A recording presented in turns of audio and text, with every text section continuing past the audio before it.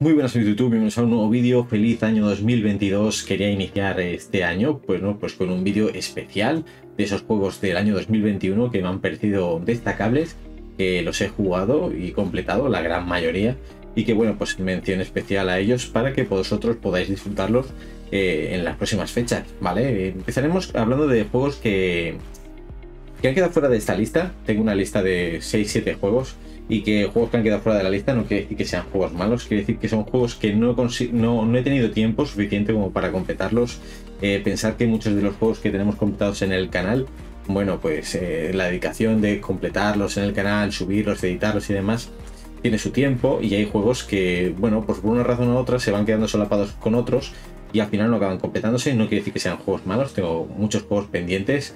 Tengo juegos del año 2020 también todavía por completar que bueno, son tareas pendientes y que, bueno, eh, supongo que a vosotros también os pasa muchas veces que o por una cosa o por otra no tenemos tiempo suficiente, no quiere decir que sean malos juegos, pero que, bueno, pues o no encuentras tiempo o hay otro juego que te llama mucho más la atención y en ese momento y no, no te da tiempo para, para todo.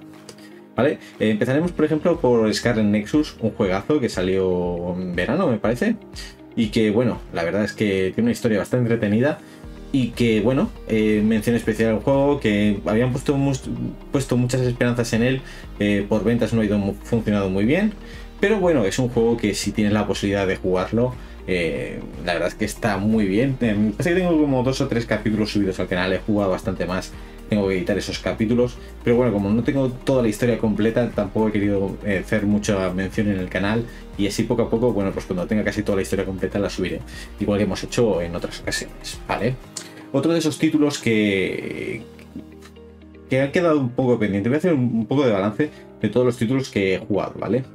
House Ashes, eh, la tercera entrega de Dark Pictures, me parece bastante flojete, ¿vale? habían dicho que era la mejor de las tres, que estaba mucho mejor que Little Home, que Man Midan. Eh, bueno, eh, si tienen la posibilidad de jugarlo precio reducido, sabemos que son juegos que salen a 30 euros, bueno, pues yo considero que incluso un poquito más por debajo ya puedes eh, buscar ese título.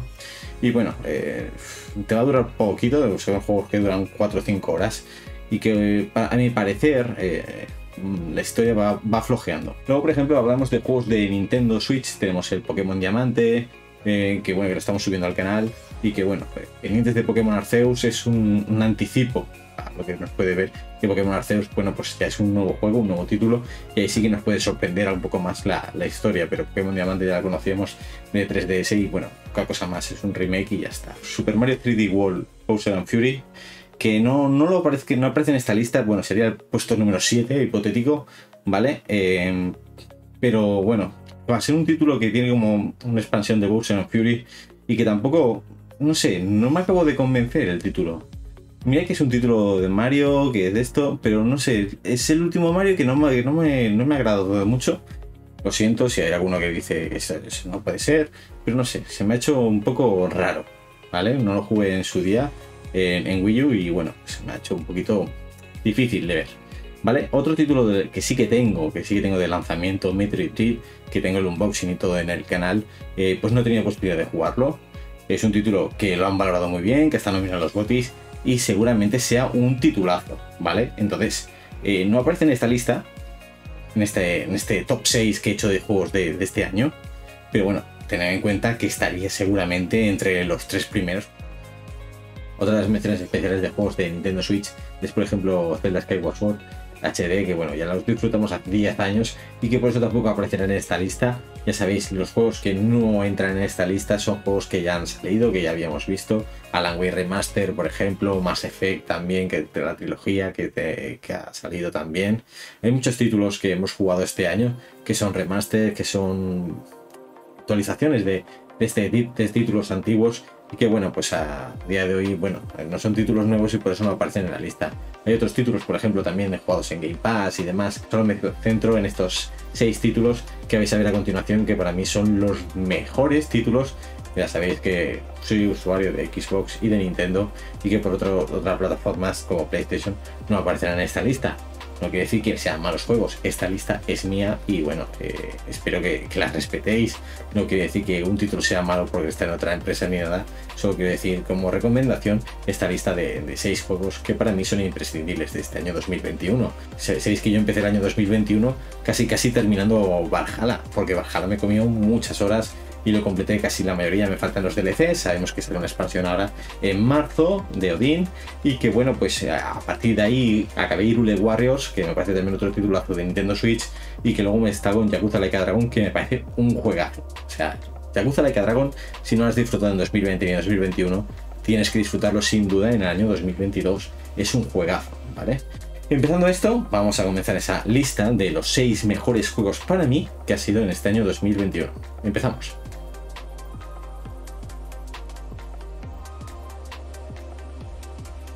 Un juego que la verdad es que cuando salió la gente le llamó mucho la atención, vías a todos los streamers jugando con él y demás, pero que bueno, pues eh, como salió tan pronto, salió en el mes de febrero creo yo, bueno, pues la gente como que se ha ido olvidando de él y bueno, es Little Namers 2, la historia de Six. Es como Six eh, consigue su chubasquero amarillo determinante y característico de Little Namers la primera parte y que es un juego muy entretenido, un juego de, bueno, poquitas horas, pero la verdad es que muy currado, muy guapo. Para mí es un titulazo y es un imprescindible de este año 2021.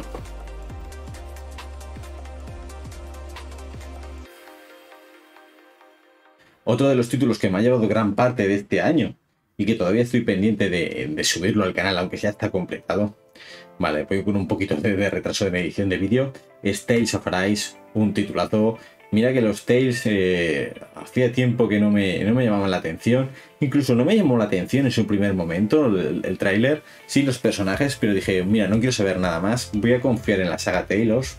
Y bueno, pues la verdad es que sí es un juegazo. Eh, me ha recuperado, bueno, pues la, el mundillo del RPG. Así que si le puedes dar la oportunidad, está muy bien y te va a llevar bastante, bastante tiempo completarlo.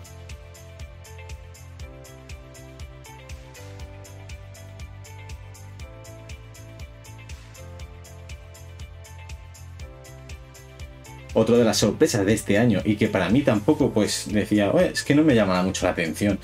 Más el apartado, el apartado gráfico, el diseño de los personajes. Digo, no me gusta, no me gusta. Sí con autos, eh, la verdad es que un título lo tengo a medias, todavía no lo tengo completado eso de las tareas pendientes, pero que sí que me ha gustado mucho. O sea, nada más empezar el juego ya debes el detalle, la calidad que tiene y que, bueno, la historia pues es muy entretenida y para mí podría ser perfectamente el GOTY de este año, pero bueno, supongo que el, ha primado la experiencia del ganador de este año, que pronto lo conoceremos.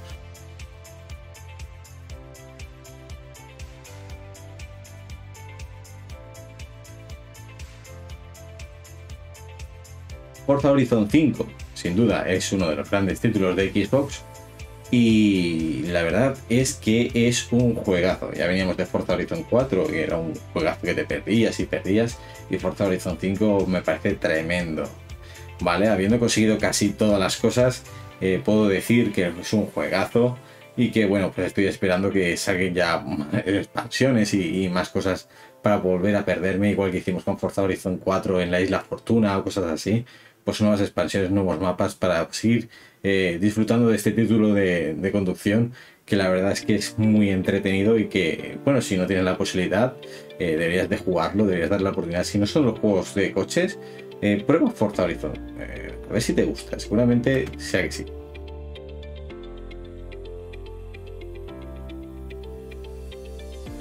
Y que soy fan de Halo no puede decir que, Halo tendría que estar en esta lista. Pero para sorpresa de muchos, el Halo para mí es el segundo mejor juego de este año que he jugado y es justamente el último juego que he completado eh, en este año, ¿vale? Eh, por eso este mes de diciembre, el último mes de diciembre, no he estado subiendo muchos vídeos porque el ratito que tenía me ponía a jugar a Halo y quería completarlo cuanto antes, ¿vale? Entonces Halo Infinite para mí es un juegazo, el multijugador sin duda es un pepino y la historia muy bien, la verdad quizás se me ha hecho corta. No sé por qué la historia se me ha hecho corta. No es eso de las 6 horas que dicen algunos, que ah, dura 6 horas. No, la verdad es que el mapa lo estoy explorando. Lo que sí que pasa que me he pasado que, me he concentrado en la historia. He dicho pam, pam, pam, pam. Es decir, los núcleos Spartan y cosas de estas. No, he ido al tirón. Pam, pam, la historia, la historia, la historia, la historia. Y esas cosas las estoy completando ahora, ¿vale? La exerción del gancho entre los poderes, pues me parece tremenda. Te da un montón de manejo. Y la verdad es que controlarlo es bastante, bastante determinante en la, batalla. Aún incluso jugándolo normal, ha tenido problemillas en algunas misiones. Supongo que también aparte del tema de los núcleos, que no había aumentado, por ejemplo, barrera y demás, bueno, pues me ha costado un poco avanzar en la historia. Y que bueno, el objetivo es pasárselo en legendario como siempre, pero bueno, con calma y tranquilidad. Para mí es un juegazo y tienes que probarlo sí o sí.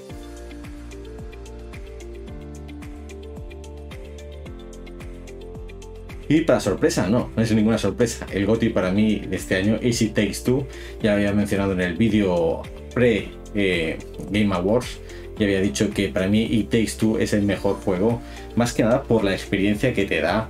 Esa experiencia multijugador con otra persona. La cantidad de, situaciones cómicas que te puedes encontrar en la historia de juego de Joseph Fares que me parece tremendo. A Way Out me encantó y Takes Two el día de lanzamiento tenía que estar y teníamos que estar probándolo lo tenéis en el canal subido, lo disfruté junto un mi hermano. Jugarlo con otra persona es el momento eh, especial de ese juego, el determinar la compenetración de uno y otro para poder hacer las situaciones, las actuaciones que tenemos que superar para acabar con los enemigos y demás. Es la verdad la sorprenderse, no es eh, volver a jugarlo, ya sabes las situaciones, pero jugarlo por primera vez con una persona y decir, oye, tienes que hacer esto tú, tienes que hacer lo otro, para mí que es un gran juego. Eh, sabemos que It Takes Two no tendrá segunda parte, al menos eso Joseph Fares sabemos que va cambiando de título, pero esperemos que, bueno, pues eh, habiendo visto que la gente le ha gustado mucho esta situación, bueno, pues que se anime y nos saque un juego muy parecido en la siguiente parte, en el siguiente título que hagan.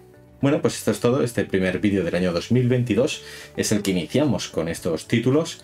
Espero que os haya gustado este, esta lista, sabéis que es personal y que bueno, pues seguro que tenéis muchos títulos que nos salen en esta lista y que os parecen tremendos y que es muy respetable, ¿vale? No quiere decir que sean malos juegos, como he dicho anteriormente. Ya sabéis, si os ha gustado este vídeo, eh, bueno, pues este año tengo el objetivo cada año tengo el mismo objetivo de llegar a esos mil suscriptores, ya sabéis, si me apoyáis al canal, pues os lo agradezco mucho, ese objetivo es, es persistente y que bueno, pues intentaremos en este año, así hago un vídeo más o menos de los objetivos que tenemos en este año, de subir más directos en Twitch y bueno, pues subir más vídeos así comentando cosas, si os parece bien, de videojuegos y de series o de otras cosas.